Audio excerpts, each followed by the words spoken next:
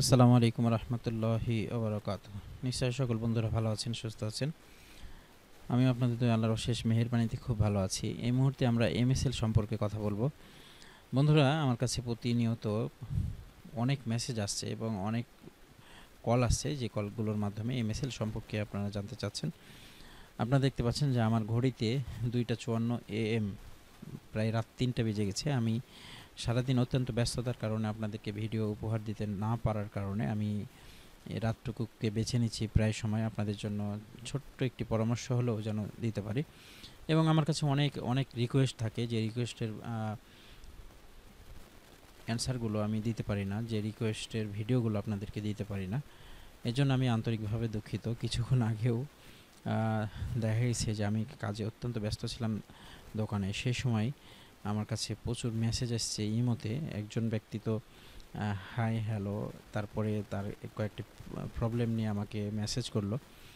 এবং মেসেজগুলো আমি আমার চোখেই পড়েনি ব্যস্ততার কারণে। আসলেই সব সময় ফোন হাতে রাখা সম্ভব হয় না। সব সময় মেসেজগুলো পড়ে রিপ্লাই দেওয়া সম্ভব হয় না। যার কারণে আমি আন্তরিকভাবে দুঃখিত। কিন্তু কয়েকবার হাই হ্যালো এবং প্রবলেমগুলো মেসেজিং করার পরে যখন রিপ্লাই না পাইনি না পেয়েছে, তখন সে ভাইটি খুব দুঃখ করেই হয়তো বলছে যে, খুব কষ্ট পেলাম, আর কখনো মেসেজ করব না।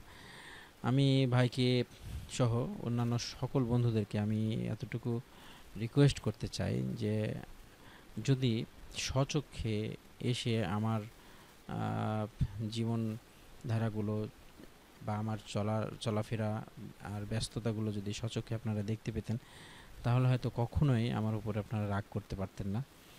এই জন্য আমি আপনাদের কাছে বিশেষভাবে সহযোগিতা কামনা করি, যেন আমি আমার ব্যস্ততার সময়টুকুতে আমি চেষ্টা করি যতটুকু পারি অ্যান্সার করার, যতটুকু পারি ফোন রিসিভ করার।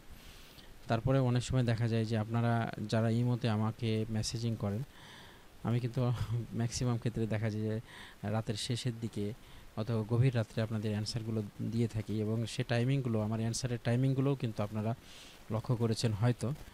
তো আশা করি আমাকে ভুল বুঝবেন না, আর যারা ভুল বুঝবেন তাদের কাছে আমার রিকোয়েস্ট আসলে আমার ব্যস্ততার বিষয়টি আপনারা মাথায় রাখবেন ইনশাল্লাহ। এই মুহূর্তে এমএসএল নিয়ে আমার কাছে বহু বহু রিকোয়েস্ট ছিল, আর এই রিকোয়েস্টের অ্যান্সারটা আমি করতেছি। এমএসএলটা হচ্ছে আমাদের স্যামসাংয়ের একটি সিকিউরিটি বর্তমান সময়ে আমরা, আপনারা জানেন যে যারা আমরা কাজ করতেছি সফটওয়্যারের এবং বিভিন্ন ফোনগুলোকে আনলক করছি আনলক যখন করি তখন ফোনের সিকিউরিটিগুলো ভেঙে যায়। আর কোম্পানি সার্বক্ষণিক চেষ্টা করে তাদের সিকিউরিটিগুলোকে স্ট্রং করার জন্য। কোম্পানি স্ট্রং করছে, আমরা যখন ফোন ফোনের এফআরপি লকগুলোকে বাইপাস করি সবসময়, দেখা যাচ্ছে এখন যে ভার্সনটি আছে, এখানে একটি ওয়ে আমরা বের করে ফেললাম, যেখান দিয়ে আমরা ব্রাউজারে ইন করতেছি এবং সেখান থেকে আমরা সরাসরি ম্যানেজারে গিয়ে আমরা এফআরপির যত অ্যাপ্লিকেশন আছে, সবগুলোকে রিমুভ করছি অফ করে দিচ্ছি বাইপাসের মাধ্যমে। এবং পরবর্তীতে নতুন সিকিউরিটি যখন সেট আসে কোম্পানিগুলো সেই রাস্তাগুলোকে বন্ধ করে দেওয়ার চেষ্টা করে এবং নতুন ফাঁক তৈরি হয়।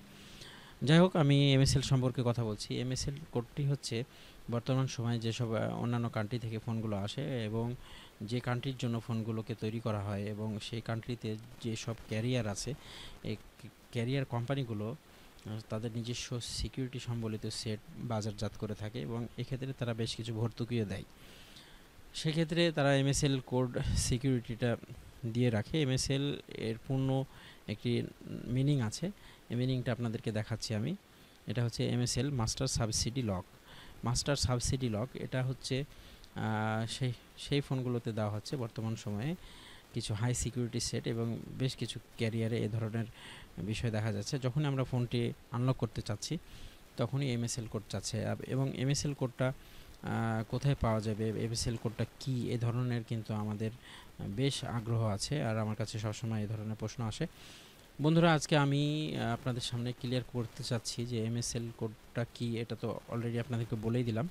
এবং এমএসএল কোডটা আমরা কোথায় থেকে পেতে পারি, কীভাবে পেতে পারি অনেক সময় দেখা যাচ্ছে যে অনেকে কল করছেন এমএসএল কোডের জন্য। আমি আপনাদের কাছে সহজ করার জন্য বিষয়টি সামনে নিয়ে আসলাম। আমি এখন ব্রাউজারে চলে যাব। ব্রাউজারে গিয়ে আপনাদেরকে দেখানোর চেষ্টা চেষ্টা করব যে আমাদের এমএসএল কোডটা আমরা পেতে পারি কোথায় থেকে কীভাবে। এর আগে আনলক পয়েন্টের আমি লোকেশনটা আপনাদেরকে দিয়েছিলাম। অবশ্যই দিয়েছিলাম। সেই বিষয়টি আপনারা হয়তো মনে আছে যে সার্ভার অনেক আছে আনলকের ক্ষেত্রে, কিন্তু সিকিউর সার্ভারের অনেক অভাব এবং বেশ কিছু সার্ভারের সততার প্রবলেম আছে এবং কোথাও কখনো বিনিয়োগ করতে হলে অবশ্যই আমাদেরকে জেনে শুনে বুঝে বিনিয়োগ করতে হবে। ইনশাআল্লাহ, আমি এখনও পর্যন্ত এই সার্ভারটাতে ভালো সার্ভিস পাচ্ছি এবং আপনাদেরকে পরামর্শ দিয়ে যাচ্ছি।